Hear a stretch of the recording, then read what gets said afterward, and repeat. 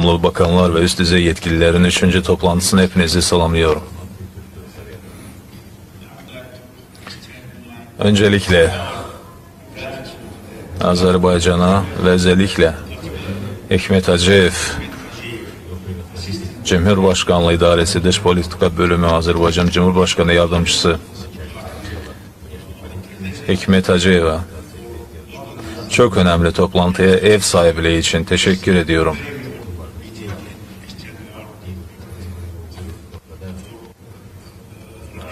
Ve heyet için Bakü'de kaldığımız süre boyunca gösterdiği mükemmel düzenlemeler ve misafirperverlik için e, şükranlarımızı sunuyorum. Ayrıca tüm değerli delegasyon başkanlarımıza yoğun programlarının ortasında ve bu çok zorlu zamanda katılımlarından dolayı teşekkür etmek istiyorum. Bakü'de sizinle birlikte olmak ayrı bir zevktir. Tüm zorluklara rağmen 2020 zengin bir e, gündemi olan bir yıl oldu. Türk dünyası için gerçekten verimli ve hatta muzaffer bir yıl oldu. Türk dünyası her şeyden önce Azerbaycan torpaklarının işgalden kurtarılması ve egemenliğinin ve toprak bütünlüğünün restorasyonu gibi önemli başarılara daha da e, başarılarla daha da güçleniyor.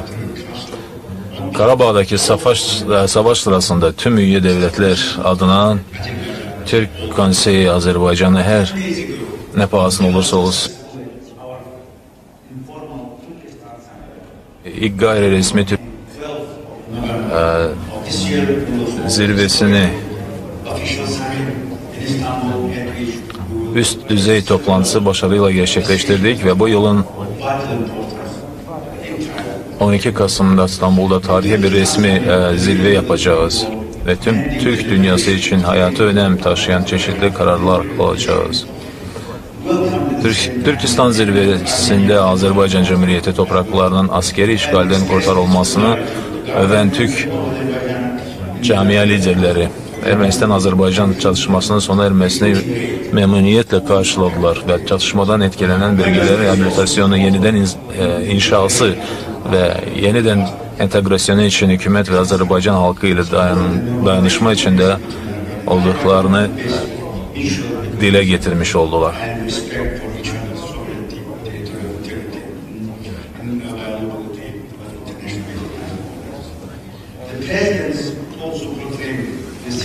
Başkanlar ayrıca Türk dünyasının manevi başkenti olan Türkistan şehrini, e, Türkistan kentini ilan ettiler.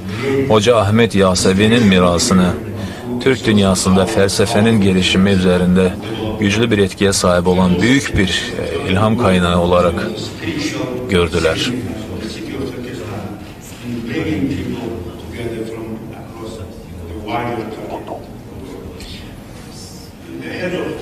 Devlet başkanları, Türk dünyasının edebiyat, sanat, sosyoekonomik, bilimsel ve kültürel yaşamının gelişimine büyük katkıları göz önünde bulundurarak Alişer Navai Uluslararası Ödülünü de e, böylelikle kurmuş oldular. Bu alanda aynı zamanda liderlerimiz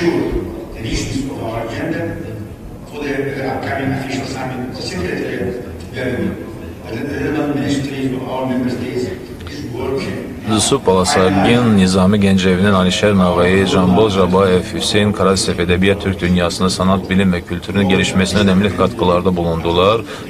Başkanları talimatların doğru bir şekilde uygulamak ve yaklaşmakta olan resmi zirvenin gündemli zenginliğini sağlamak için sekreteriye üye de, e, devletlerimizin ilgili bakanlıklarıyla birlikte Türk Dünyası Vizyonu 2040 adlı yol haritası e, belgemiz üzerinde çalışıyor. Bu belgenin e, yaklaşmakta olan zirvede kabul edeceğimizi umuyoruz.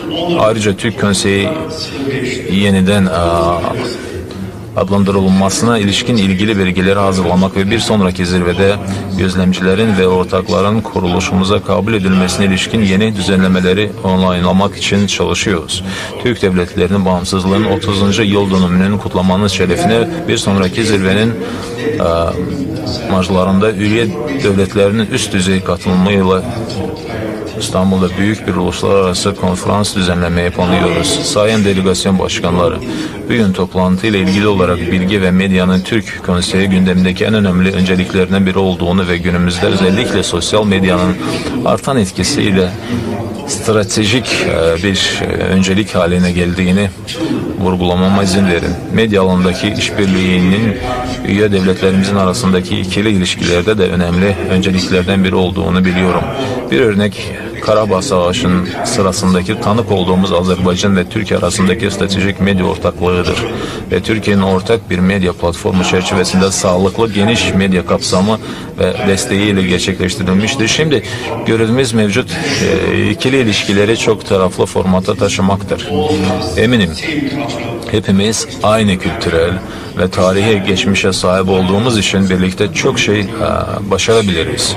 Ki bu da medya kuruluşlarımız tarafından yayınlanacak paylaşılan içeriğin üretilmesi açısından hayata önem taşıdığına inanıyorum. Bildiğiniz gibi Kazakistan Cumhuriyeti 1. Cumhurbaşkanı Nursultan Nazarbayev'in önerisine dayanarak 11 Eylül 2015'te Astana'daki düzenlenen Türk Konseyi 5. E, üst düzey e, toplantısı zirvesinin teması üye devletlerde bilgi alanı ve medyanın geliştirilmesiydi.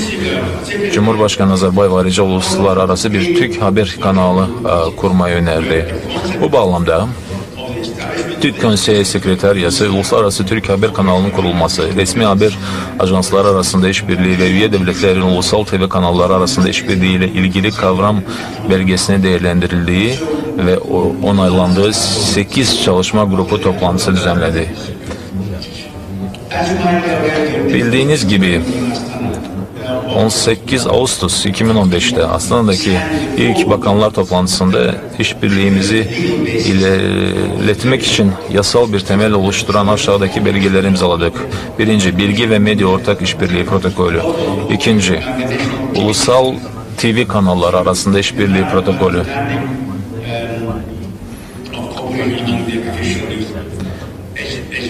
ve resmi haber ajansları arasında işbirliği için mutabakat zaptı.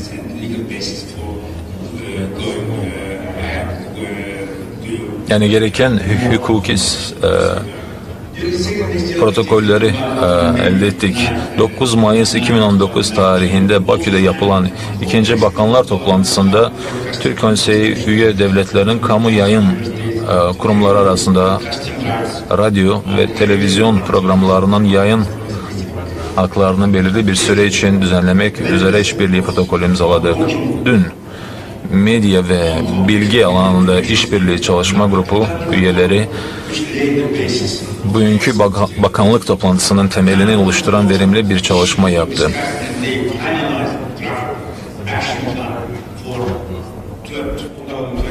Bir dizi önemli konu tartışıldı ee, ve 2021-2022 e, yıllar için bilgi ve medya alanında işbirliğin geliştir geliştirilmesiyle ilgili e, eylem planını hazırladılar.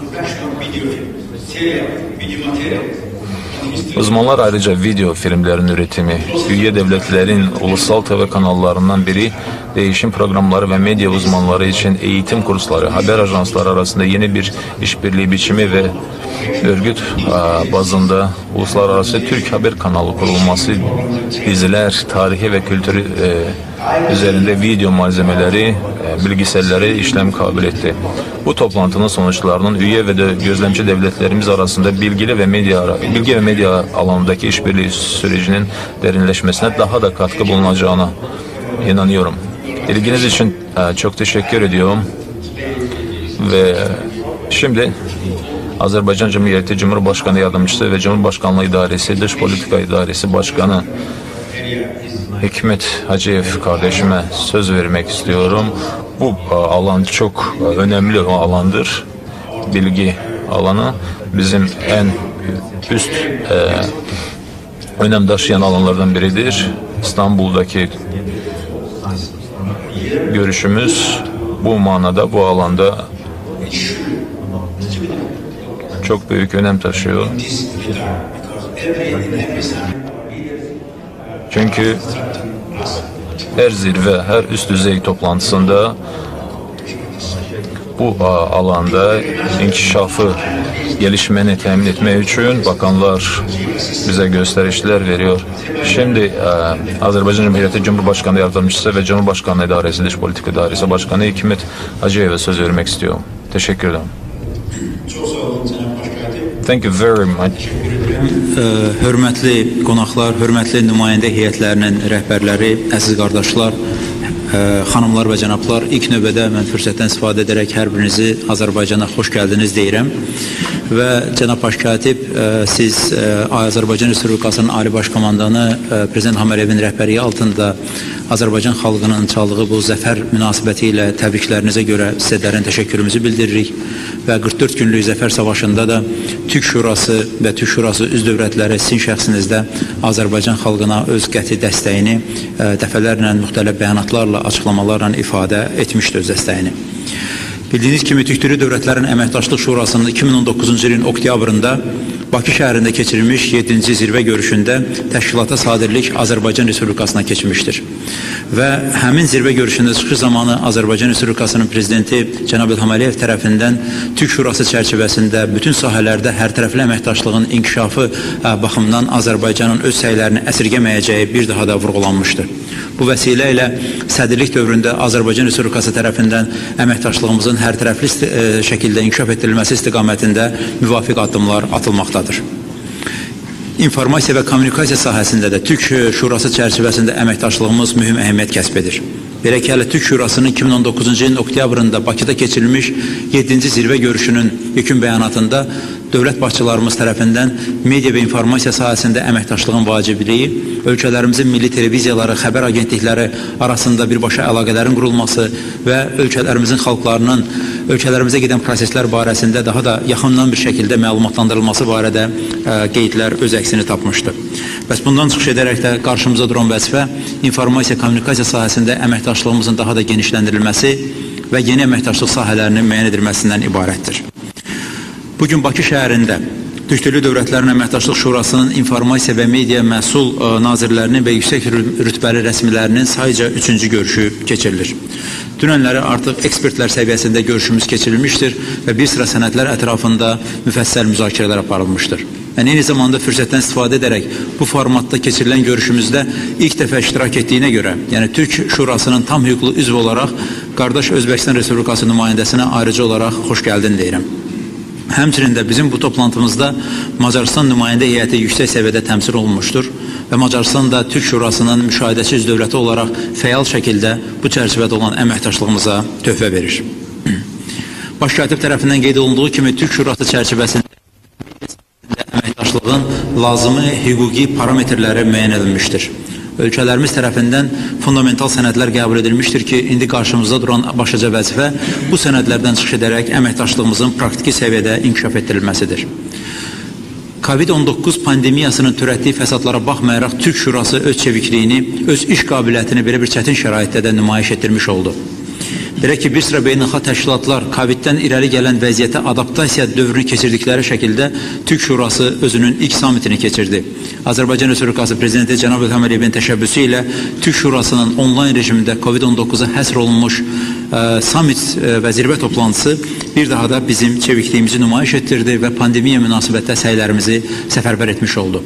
Və bu nəticə ilə Türk Şurası çərçivəsində enerji, ə, nəqliyyat, gömrük və digər sahələrdə konkret işçi qrupları yaradılmışdır ki, hesab edir ki, bu sahədə bizim aparılan praktiki əməkdaşlığımızın informasiya təminatının daha dolğun şəkildə aparılmaması bizim ümumi işlərimizin daha da uğurlu olmasında müəyyən çətinliklər yarada bilər. Ona görə də hər bir fəaliyyətimizin informasiya təminatının yaradılması vacib şərtlərdən biridir və ümumiyyətlə bu prosesin ə, e, üzv ölkələr arasında əlaqələndirilmiş şəkildə aparılmasına və dövlətlərimizə göstərdiyi dəstəyə görə də ayrıca olaraq ə, e, cənab baş katibə və ə, e, katibliyin işçilərinə də öz təşəkkürümüzü bildirmək istərdik.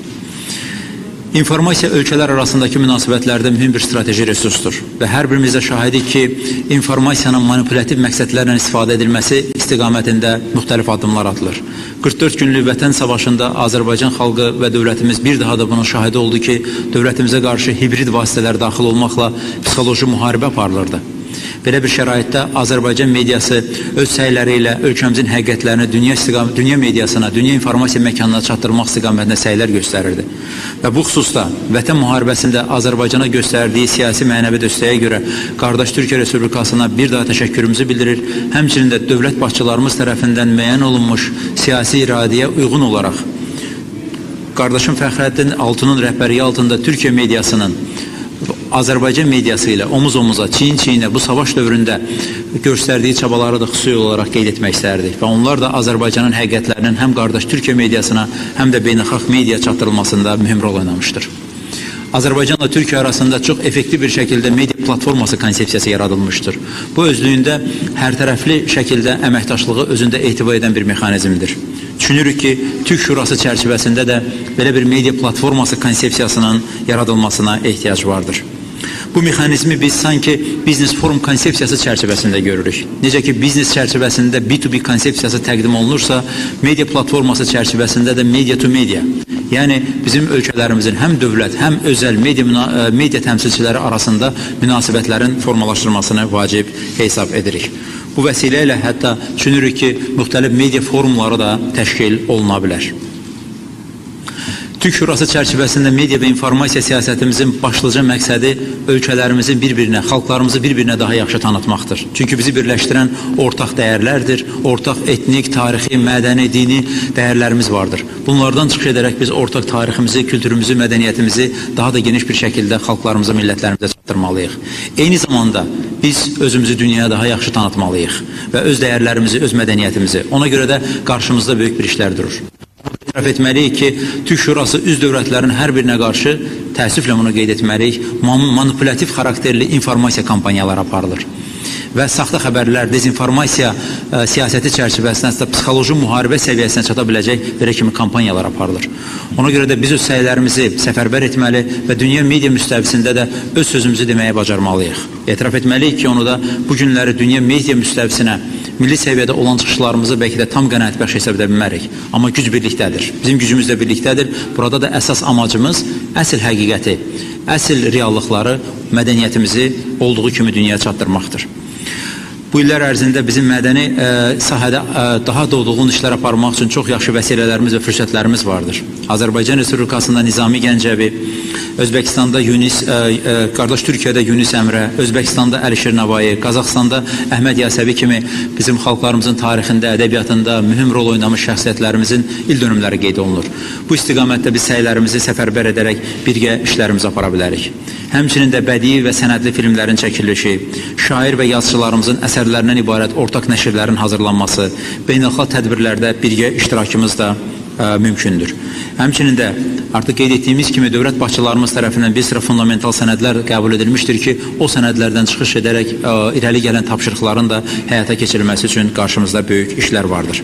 Bu işlərin daha da effektiv şəkildə aparılması üçün biz ə, katibliklə müzakirələr apardıq və Bağdad müəllim burada da o mövcudluğundan istifadə edərək qeyd etmək istərdik ki, katibliyin media koordinasiya komitəsinin yaradılmasından əlaqədar təşəbbüsü vardır ki, biz bunu yaxından dəstəkləyirik. Mütəmadi şəkildə ölkəmizin aidiyyəti media mənsublarının iştirakı ilə bu qəbildən olan iclaslar keçirilsin. Hətta lazım olan istiqamətlərdə alt işçi qrupları yaradılsın ki, bu istiqamətdə biz davamlı şürətdə işlərimizi aparaq. Həmçinin də gənc jurnalistlərin, media nümayəndələrinin peşəkarlığının artırılması, onların məhz ölkələrimiz haqqında daha dolğun məlumatlı olmalarının təmin edilməsi üçün müxtəlif peşəkar jurnalist proqramlarının, təcrübə mübadilələrinin və qarşılıqlı səfərlərin saylarının daha da artırılmasına ehtiyac var. Həmçinin də bizim media akademiyalarımız və professional jurnalistika təhsili verən tədris müəssisələrimiz arasında da əməkdaşlığın inkişafı mühüm əhəmiyyət kəsb edir və müasir dövrün ən böyük və acı reallıqlarından biri sosial medialar vasitəsilə müxtəlif dezinformativ xarakterli propagandaların aparılmasıdır. Və sosial media platformalarında ölkəmizə, ölkələrimizə qarşı aparılan mənfi tendensiyaların, informasiya təxribatlarının, yalan məlumatların da qarşısının alınması istiqamətində biz bir səylərimizi bir araya gətirməyimiz olduqca vacibdir. Bu xüsusda qardaş Türkiyənin çox yaxşı təcrübəsi vardır və Türkiyə qanunvericiliyində edilən müxtəlif dəyişikliklər və bu xüsusda atılan addımlar da maraqlı təcrübədir. Düşünürük ki, Türkiyə Şurası, Türk Şurası çərçivəsində bu sahədə də biz effektiv fəaliyyət apara bilərik və bu kimi platformalar həyata keçirilən ə, sosial ə, media şirkətləri qarşısında məsələlərimizi qaldıra bilərik ki, bəzi hallarda terrorizm, zorakılıq və digər xoşagəlməz halların da sosial media platformaları vasitəsilə yayılması və bunun ölkələrimizin, vətəndaşlarımızın taleyinə, həyatına təsir etməsi kimi tendensiyaları da ə, görmüş oluruq. Azərbaycan xalqı 44 günlük vətən müharibəsində böyük bir qələbə çaldı. Prezident İlham Əliyevin rəhbərliyi altında. Bu eyni zamanda bütün ə, Türk dünyasının bir ə, qələbəsi biz hesab edirik. Çünki Azərbaycanın ayrılmaz hissəsi olan Qarabağ Türk dünyasının mədəniyyətinin ayrılmaz bir hissəsi olmuşdur. Məhz Qarabağda Türk dünyasına, mədəniyyətinə töhfələr verən gözəl incilər yaradılmışdır. Məhz bu incilərdən ə, biri Qarabağın tacı olan Şuşa şəhəri idi ki, Şuşa şəhəri daxil olmaqla Azərbaycan işğaldan olunmuş, işğaldan azad olunmuş ərazilərində maddi mədəniyyət abidələrimiz, irsimiz Ermənistan tərəfindən illər uzunda dağıdılmış və talan edilmişdir.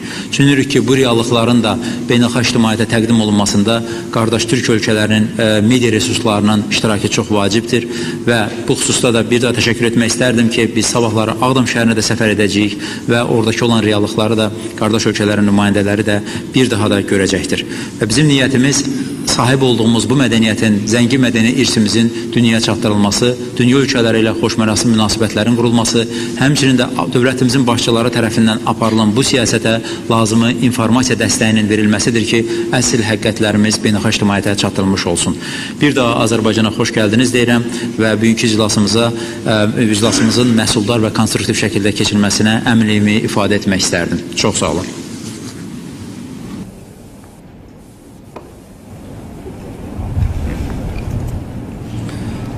Günlerimize uygun olarak indi ise sözü Qırğız Respublikasının Mədəniyyət, İnformasiya, İdman və Gənclər Siyasəti Naziri cənab Kayrat İmaməliyevə vermək istəyirdim. Kayrat müəllim, buyurun. Hı -hı. Çox təşəkkür edərəm. Hurmatlı Bağdat Qultayeviç, hurmatlı Hikmət Xaliyev, Türk Gençliğinin Malumat Tarmağının Hikmət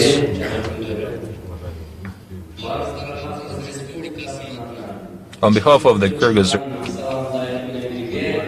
iki кезекте Азербайжан Республикасына жылуу ме- Sayın Bağdat Kultayeviç, Sayın Bakanlar ve Türk Konseyi Bilgi ve Medyadan sorumlu bakanlar ve üst düzey yetkilileri. Herkes, herkesi içtenlikle selamlıyorum. Her yerden ve her şeyden önce Azerbaycan Cumhuriyeti'ne bu kadar sıcak misafirperverlik ve etkinliği yüksek organizasyonu için derin şükran sözlerini ifade etmek istiyorum. Tabii ki Kırgızlar Azerbaycan halkının felaket döneminde kardeşlerinin durumuna anlayışla baktılar ve tarihi Dağlık Karabağ topraklarında barışın hızlı bir şekilde tesis edilmesini istediler. Yıllar içinde de demlenmiş olan bu sorunu çözmekten tamamen e, memnunuz. Bilgi alanındaki çalışma grubunun her yıl düzenlenen bakanlar ve üst düzey yetkili kişilerinin yıllık toplantıları, mesleki deneyim ve yeni fikir alışverişi e, alışverişine olanak sağlamakta. E, Bilgi alanında işbirliği için, eylem planının uygulanması için ortak mekanizmalar geliş, e, geliştirmekte. Ulusal TV kanallarına ve haber ajanslarına video materyalleri, belgesel materyaller, kurgu ve animasyon filmleri, tarih, kültür ve Türk tarihinin önde gelen isimleri üzerine dizilerin değişiminde yardımcı olmak, çok taraflı teknik işbirliğini güçlendirmek, çok taraflı teknik işbirliğini güçlendirmek, medya ve çok daha fazlasını tamin etmiş oluyor. Kırgızistan, e, Azerbaycan, Kazakistan, Özbekistan, Türkiye Macaristan gibi ülkelerimiz arasındaki işbirliği, tarihsel ilişkiler, halklarımızın dili, kültürü ve geleneklerin ortaklığı, coğrafi yakınlığı, sosyoekonomik, kültürel insani, bilimsel teknik alanlarda ve özellikle bilgi alanlarında geniş bir e, aktiflik göstermişler.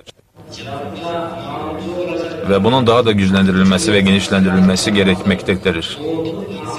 Özellikle sosyal bilinç e, oluşumu üzerinde sosyal bağların gelişmesi e, çok vaciptir. Analiz ve izleme faaliyetleri Türk Konseyi göz, e, Konseyi'nde çok mühim bir yer tutuyor. Kuruluş, kuruluşundan bu yana gönüllü birliği Türk devletlerin çok zaman onun uluslararası konumlarında küresel informasyon alanında gözle görülür e, şekilde güçlenmiştir.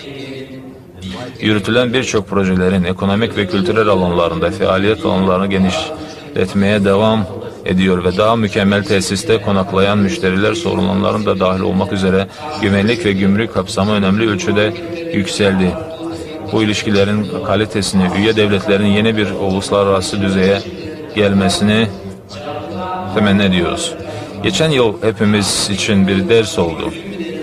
Ve bu nedenle gelecekte koronavirüs enfeksiyonunun etkinleriyle mücadelede Türkçe konuşulan ve Türk ile ül- ülkeleri, devletleri arasında kapsamlı işbirliğini güçlendirmek, zayıf noktaları tespit etmek ve etkili çözüm yolları bulmak, medyanın çalışma biçimini değiştirmek ve en son teknolojiyi uygulamak gerekiyor.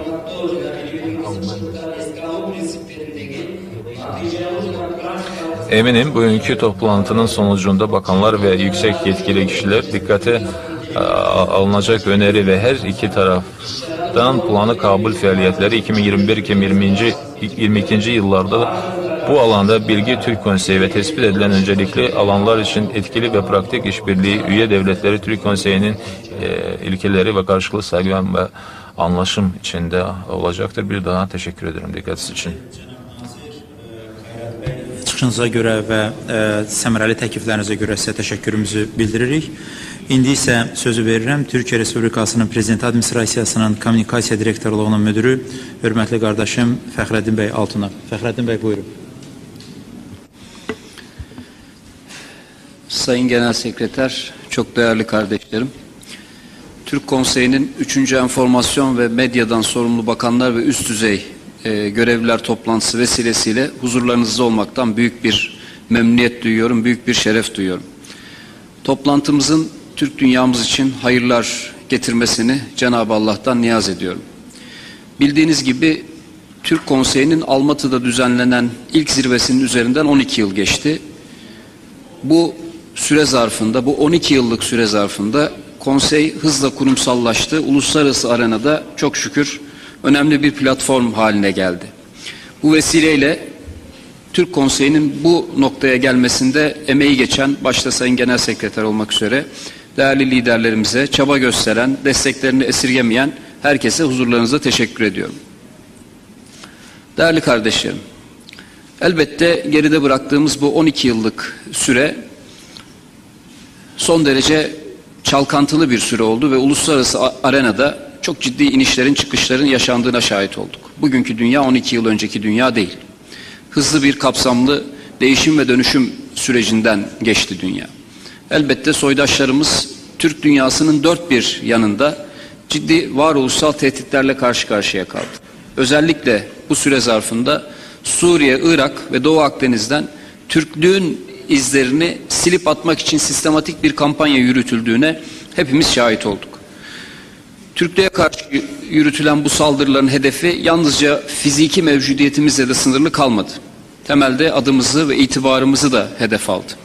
Ve bu söz konusu itibarsızlaştırma çabaları dış kaynaklı olmakla birlikte maalesef içerideki işbirlikçilerin katkılarıyla devam etti. İçinde bulunduğumuz ve kimilerinin adına post-truth dediği hakikat ötesi bu dönemde algı operasyonları da bu saldırılara eşlik etti. Bu anlamda bu yeni nesil tehditler karşısında bizim Türk dünyası olarak güç birliği yapmamız, birbirimizi koruyup kollamamız ve bu saldırılar karşısında bağışıklık geliştirmemiz bir mecburiyettir. Hem tehdit algımızı hem de işbirliği ve dayanışma anlayışımızı günün koşullarına uyarlamak, uygun hale getirmek zorundayız. Bu kardeşliğimizin de gereğidir. Kıymetli dostlar, açık ve net bir şekilde ifade etmek istiyorum. Türklüğün karşı karşıya olduğu en büyük tehditlerin başında bugün FETÖ olarak bilinen Fethullahçı terör örgütü gelmektedir. Bu örgüt yaklaşık 40 yıl boyunca devletimize bir kanser gibi musallat olmuş en hassas kurumlarımızın kılcal damarlarına kadar girmiştir. Türkiye'ye karşı kurulan komplo 15 Temmuz 2016 tarihinde yaşanan hain darbe girişiminde somut bir hal almıştır. Adeta bir işgal girişimi olan bu kalkışma Sayın Cumhurbaşkanımız Recep Tayyip Erdoğan'ın güçlü liderliği ve milletimizin basireti sayesinde engellenmiştir. Ancak bu virüsün vücuttan atılması milletimizin çelik iradesine rağmen yıllar sürmüştür. Burada net bir şekilde ifade etmek istiyorum. Söz konusu kanserli virüs maalesef Türk dünyasının diğer yerlerine de sirayet etmiş ve bu virüs farklı şekillerde kendisini göstermiştir. Bizim vatandaşlarımızın yaşadığı sıkıntıları biz hiçbir soydaşımızın tecrübe etmesini istemiyoruz. İşte bu nedenle örgütün dezenformasyon kampanyalarına ve Türk devletlerine yabancı servisler namına sızma girişimlerine karşı uyanık olmak gerektiğini açık ve net bir şekilde ifade ediyoruz. El birliğiyle biz ne olursa olsun bütün vatandaşlarımızın bu tür faaliyetlere karşı direncini arttırmalıyız. Biz elbette bu tehditler yanında çağımızın getirdiği fırsat ve sınamalar söz konusu olduğunda da birlikte hareket etmeli ve hedeflerimize koordinasyon ve işbirliği halinde kolaylıkla ulaşabilmenin yollarını aramalıyız.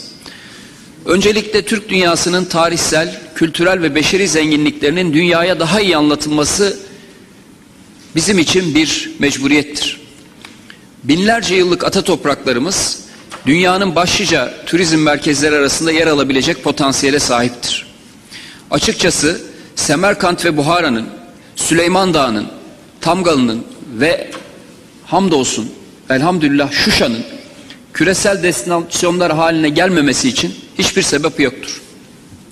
Aynı şekilde kendi zenginliklerimizi, tarihsel kültürel zenginliklerimizi kendi toplumlarımıza daha da iyi anlatmalı. Türk dünyasının iç turizmini kültür sanat alanında ortak çalışmaları destekleyici adımları hep birlikte atmalıyız. Bu anlamda bu platformun, bu toplantının önemli bir imkan olacağını düşünüyorum. Tüm insanlık gibi Türk dünyasının da karşı karşıya olduğu başlıca sorunlardan birinin dezenformasyon olduğunu kıymetli kardeşim Hikmet Hacıyev de biraz önce açık ve net bir şekilde ifade etti. Son yıllarda görünürlük kazanan bu mesele dezenformasyon kampanyalarının hayatımızın bir gerçeği haline dönmüş olması esasında uzun bir süredir dünyayı dünyanın farklı bölgelerini etkilemektedir. Türkiye Cumhuriyeti olarak dezenformasyonla mücadele konusunda önemli mesafe kat ettiğimize inanıyoruz. İletişim alanında temel perspektifimizi hakikat mücadelesi vermek olarak görüyoruz. Ve attığımız her adımda gerçeğe, hakikate hizmet etmeye çalışıyoruz. Ve sloganımızı da yaşasın hakikat olarak belirlemiş durumdayız. Bu kapsamda en etkili silah kuşkusuz medya kuruluşlarımızın ve basın çalışanlarımızın kapasitesini arttırmaktır. Bunu el birliğiyle yapmalıyız. Medya okur yazarlığını yine toplumun tüm kesimlerine yaymak bu noktada son derece kritik bir husustur. Bilginin üretim ve tüketim süreçlerine hakikati dahil etmeli ve kendimizi ve toplumlarımızı dezenformasyon belasından kurtarmalıyız. Hiç kuşkusuz burada vurgulamamız gereken bir diğer önemli tehdit dijital faşizmdir. Net bir şekilde ifade etmemiz gerekir. Biz bugün iletişim ve medya alanında kamu otoritelerini temsil eden aktörler olarak dijital faşizm gibi bir küresel meseleyle karşı karşıyayız. Ve dijital faşizmle yüzleşmeden, dijital faşizmin tehditlerini bertaraf etmeden vatandaşlarımızın demokratik siyasal kültür içerisinde, bir müzakere kültürü içerisinde serbest, özgür dolaşımını temin etmemiz söz konusu olamaz. Malumunuz bir avuç küresel şirket küresel bilgi trafiğini kontrol altına alarak gerçeği tekelleştirmeye çalışıyor. Dünyaya bunu yaparken de düşünce özgürlüğü dersleri veriyorlar. Oysa dünyaya düşünce özgürlüğü dersi vermeye kalkanların çıkarlarına, menfaatlerine uymayan bir durum olduğunda bu türden fikirleri doğrudan sansürlediğini hep beraber gördük. Siyasetçilerin ve devlet görevlilerinin şiddeti teşvik ettikleri gerekçesiyle susturulduğunu da gördük. Fakat aynı ortamda terör örgütlerinin pekala kolaylıkla terör propagandası yaptıklarını hatta ve hatta bu propagandaların teşvik edildiğini de gördük. Biz Türkiye Cumhuriyeti olarak bu dijital faşizmle mücadele etmek için gerekli adımları atmaya başladık. Bu kapsamda sosyal medya şirketlerinin Türkiye'de temsilcilik açmasını zorunlu hale getirdik hepinizin malumu. Ve bugün geldiğimiz noktada söz konusu şirketlerin tamamı yaptırıma uğramamak için bu kurala uymaya başladılar. Bizim bu gayretlerimiz dünyanın farklı yerlerine de örnek teşkil etmelidir diye düşünüyoruz. Devletlerimizin güç birliği yaparak tarafsızlık adı altında gizli siyasi ve ideolojik gündemlerini insanlığa dayatan bu küresel şirketleri kontrol altına almak durumundayız. Bu vesileyle Türkiye Cumhuriyeti olarak iletişim alanında Türk devletleriyle işbirliği yapmaya her zaman açık olduğumuzu, hazır olduğumuzu bir kez daha ifade etmek istiyorum. Ve diyorum ki gelin hep birlikte bu yeni dönemin fırsatlarından faydalanalım. Gelin bu alanda medya ve enformasyon alanında güçlerimizi birleştirelim ve karşı karşıya olduğumuz bu hibrit tehditlerle, bu yeni tehditlerle mücadele edelim. Kuşkusuz Türkiye ve Azerbaycan'ın Karabağ Savaşı'nda ortaya koyduğu dayanışma ve işbirliği haklı tezlerimizin tüm dünyaya duyurulmasını sağladı. El ele verdiğimizde aşamayacağımız engel olmadığını gösterdi. Sayın Cumhurbaşkanımız Recep Tayyip Erdoğan, Azerbaycan Cumhurbaşkanı Sayın İlham Aliyev'in talimatlarıyla ve yönlendirmeleriyle Aralık ayında imzaladığımız Sayın Hikmet Hacıyev kardeşimle birlikte imzaladığımız ve geçtiğimiz günlerde de onay süreci tamamlanan mutabakat saptırla birlikte iletişim alanındaki ortaklığımız stratejik işbirliği düzeyine çıktı. Ortak irademizin sembolü olan Türkiye-Azerbaycan ortak medya platformu iletişim alanında kurulabilecek ortaklıklar açısından somut ve önemli bir örnek teşkil ediyor. Ve biz istiyoruz ki bu iletişim alanındaki stratejik ortaklıklarımızı Türk Konseyi üyeleriyle birlikte daha da genişletelim, daha da güçlendirelim, daha da etkin hale getirelim. Ve elbette bu noktada biz Kıbrıs Türklerin hak ve hukukunun korunması namına da bu platform çerçevesinde onların da haklarını korumayı önemli görüyoruz.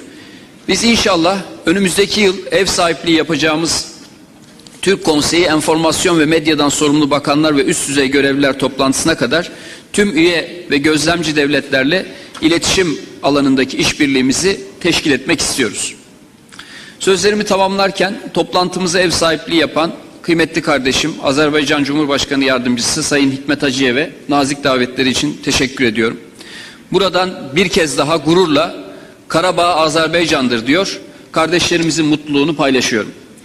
Son olarak idrak edeceğimiz Ramazan ayının tüm soydaşlarımıza ve İslam dünyasına hayırlar getirmesini diliyorum. Kalın sağlıcakla teşekkür ediyorum.